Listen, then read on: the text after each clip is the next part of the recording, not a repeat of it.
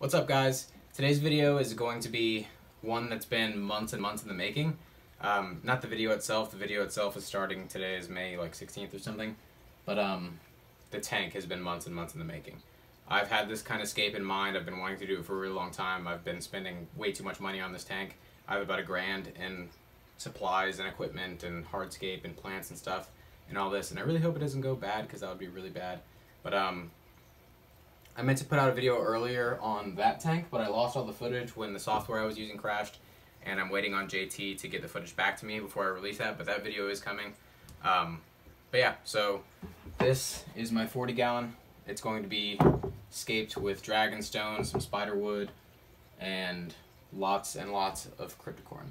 But uh, I'll show you guys some of the equipment I have and get into scaping.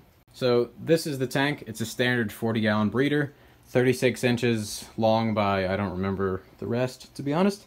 Uh, for filtration, we've got an Eheim Classic. I think this is a 22.7, yeah, it's a 2217. Uh, flows like 300 something gallons per hour. And then we have, I'll show you these guys first before I walk out there. But um, glass lily pipes for both. I think this, yeah, this is for the Eheim this one's for the Eheim, and then these two bigger ones are for the other filter that I have. That is, I think, a higher flow rate. It's going to be doing the bulk of the work. It's one of these super cheap Sun Suns, or whoever makes it. I'm actually not sure. Just, you've probably seen these before. They're really cheap, but they last really long. My friend has had really good uh, luck with his. And it's got a higher flow rate. So when you add a lot of media, the flow in tanks slows down. But yeah, so the Sun Sun has a higher flow rate that's going to be taking the bulk of the filtration, so lots of, that'll be, I want to say, probably half and half mechanical filtration and biological filtration, and the Eheim is just going to have a little bit of um, biological filtration, some really good Eheim media that I found, and polishing pads, because it's lower flow, but it's kind of a nicer filter in my opinion. Um, or actually, it's definitely a nicer filter. But yeah, so I've got the lily pipes for those, and I think I have clear tubing for them to replace the green stuff.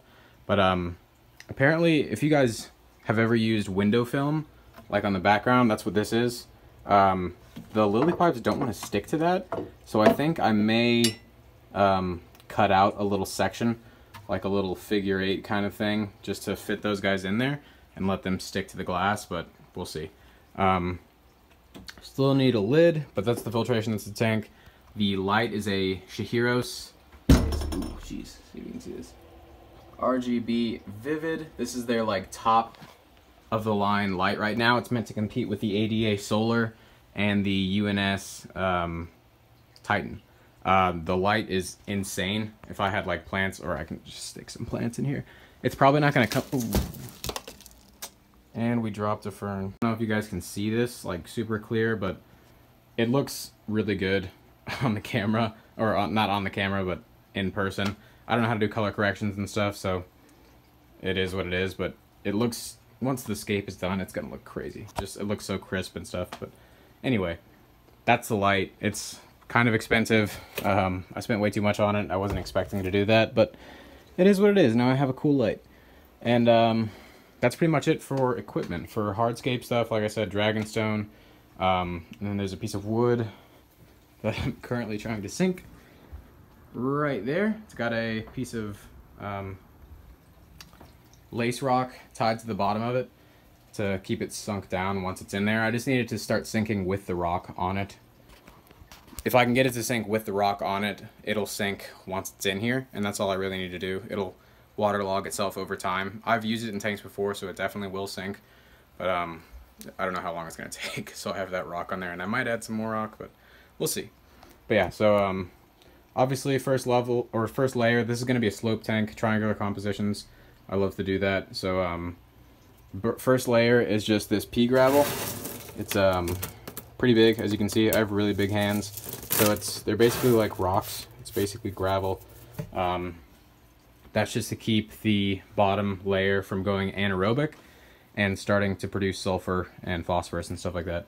But um, yeah, so I'm going to do that. I bought some Fluval stratum and I have some UNS Controsoil coming on the way from Buce Plant, as well as a ton of plants coming from them, and hopefully those get there at the same time. But if they don't, that'll be okay. Um, but yeah, I'm just gonna add some of this stratum to kind of like cover up the stone and kind of get an idea for scaping with this stuff.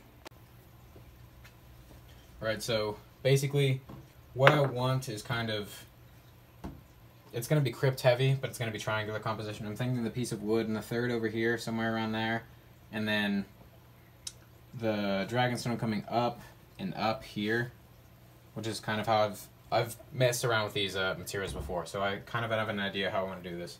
But I want to have it kind of coming down this way, or up kind of and down this way, and then up and down here, and have negative space all through here, and then behind the stone, and I guess we'll see. I'll probably put it on time lapse and just start messing around and doing stuff.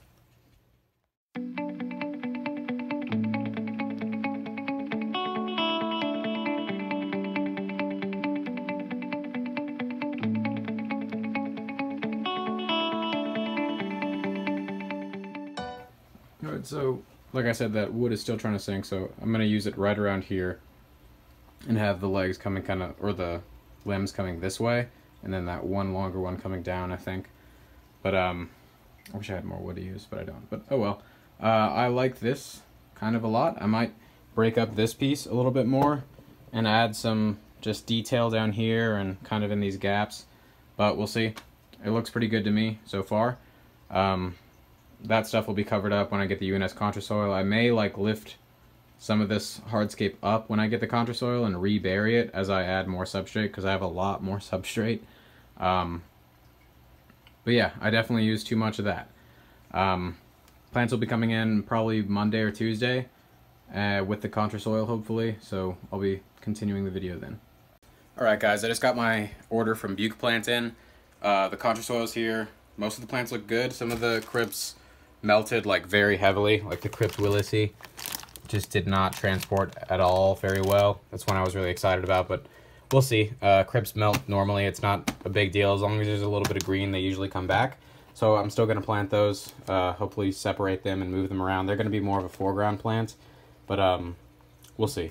Everybody else looks pretty good. Obviously, there's a little bit of melting you can see there and on all the plants pretty much, but um, everybody looks pretty good. Basically, the Wendtii green and the Willisii look pretty rough. But uh, the other plants I'm going to be using, uh, these guys, I think this is some Tropica, maybe some Lucens. As long as I can get the algae off of those, I'm going to use them. Uh, that one melted like yesterday. That's kind of weird. But yeah, as long as there's no like excessive algae on them that I can't like deal with, I'll keep those guys. And then these guys are going in. That's, um, I don't know if I'm going to use the Balanza yet. I may use just one plantlet, but uh, probably not. This is um, Spiralis. I want to use the Spiralis. But yeah, I'm just going to uh, start filling up the tank with Controsoil where the places I need it and kind of move around the hardscape a little bit as I'm adding more Controsoil to kind of bring the hardscape up so it's not just being submerged in soil. And then I'll add the La Plata ADA sand and then add some water and start planting.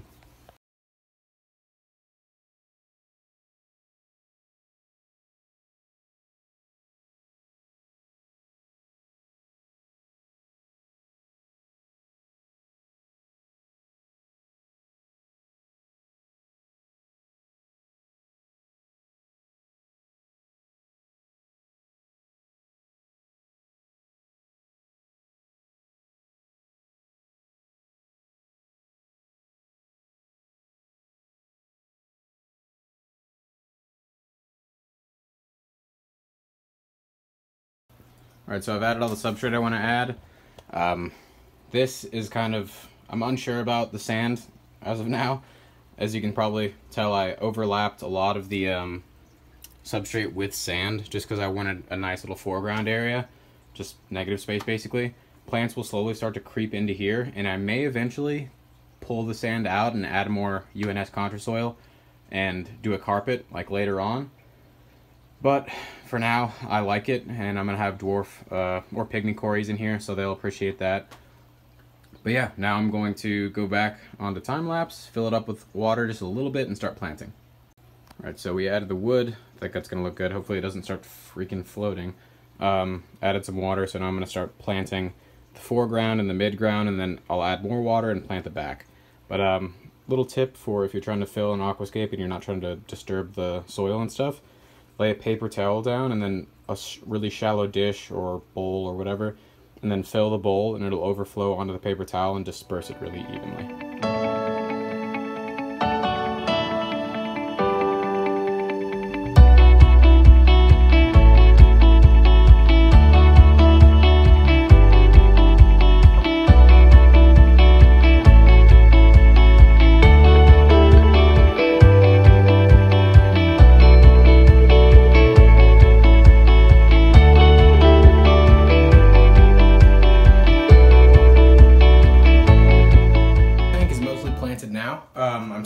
Filtration. I pulled that Sun Sun off of the 55 gallon and I realized that the only things I had in there were filter floss and that's like I said not what I want to run in there. So um, I went to find some coarse filter media like filter floss basically but coarse like sponge and I couldn't find any there at uh, in my house so I went to Petco bought this stuff cut it out put it in there and that'll be good for now until I can order um, some of the actual ones that are supposed to go in there. But yeah, I'm just getting these guys situated. So this, the bottom one is going to be the coarse filter media with, uh, actually I'll probably toss this stuff since it's really big and porous and it's not going to get gummed up as easily at the very bottom one. And then the next one up will probably be another coarse pad with this stuff and then the top one will be a mixture of Eheim filter media and this stuff. Alright guys, it's a, a, day or two later. Um, I got really sidetracked when I was setting up the tank and haven't been really filming. Uh, but really the last thing you saw was me setting up the filtration and the tank had already basically been planted. Uh, since then I've added a little bit more sand in some areas so it doesn't look really different at all. The plants are starting to melt and grow back and stuff like that. So it's pretty awesome. But, you know, here's filtration as we have all that stuff, and boom. I love the scape already. It's so cool. Um, I may add some more stone over here and whatever, but this is where I added more of the sand. I still need to, like, uh, what's it called? Not siphon, but, um, sift out the UNS drop, or UNS soil uh, here and here and get all that stuff out so it's just bare sand. But I'm playing with the idea of adding a carpet in here. So once this all starts to grow in, I'll be adding Bucephalandra and coral moss and Hygrophila pinnatifida, maybe Downoi or um, whatever the scientific name is. I can't remember it off the top of my head right now. And these little cracks and stuff like that just to kind of fill in. And then I might do Marsilea or Monte Carlo mixed with hairgrass in the foreground. But I think for now I'm just going to leave it for the next few weeks and let the tank get kind of um, matured.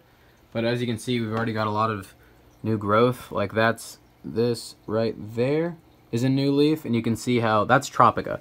So the old leaves are surrounding it, and that new one is really dark. So that's the kind of lighting, or that's the kind of growth we're going to be expecting with this really bright light. Um, it's raised. A lot of people are asking about. Why is it raised so high? It's got a very high PAR, and I don't want to have to deal with algae. Crypts themselves are a low light plants, so I want bright light, but not. I want the tank to be very well illuminated and have really good colors, but I don't want really, really, really bright light because I don't want to have to worry about algae if I miss uh, a water change every now and then because crypts don't really like big changes, so big cha water changes in this tank aren't going to really help me. Um, anyway, yeah, so that's everything's going really well. The Costata's putting out some new growth, I think. It's like really dark colored. The, I can't remember off the top of my head what these guys are, but they're putting off new leaves. The Willisii is barely like surviving. I'm actually kind of bummed. I really, really hope that's all Willisii back here this little area right here. That's where I planted the rest of those, and those are more of a foreground plant. They grow like really thin, similar to Parva, but in my opinion, they look better. So I'm really hoping those bounce back because I was really excited about those, but if not, it's not a huge deal. Like I said, I've got those other plants coming, or I'll be adding other plants eventually. Oh, and the last thing is, I'm thinking about doing a dwarf lily right here. But I haven't decided yet, because this is going to get much thicker, and that's going to get, you know, thick and lower, but I don't know. I may do a dwarf lily, or I could do a dwarf lily right there. and have it kind of in the foreground, but I haven't decided yet. I'm just going to let things grow, and I'll give you guys an update in like a month or whatever. But yeah, thank you guys so much for watching. This is, I think, one of my best aquascapes I've ever done. Oh, and if you noticed the random piece of wood, or the random dragonstone, that's just to weigh down the wood because it did start to float. But yeah, thank you guys so much for watching. I love this aquascape. I've been waiting to do it for a really long time, and I'm really excited about this. But um, let me know what you guys think in the comments. Uh, give me suggestions on stalking. I already know kind of what I want to do, but I'd like to see what you guys think. Uh, same thing with plants. Give me suggestions there. Tell me what you guys think. Thank you so much for watching. Don't forget to like and subscribe, and see you guys next time.